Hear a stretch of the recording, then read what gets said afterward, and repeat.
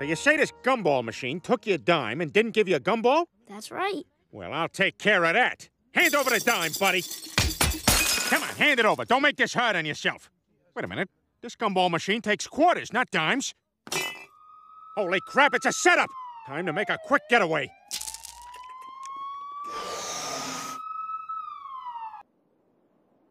You were set up too, huh? Yeah.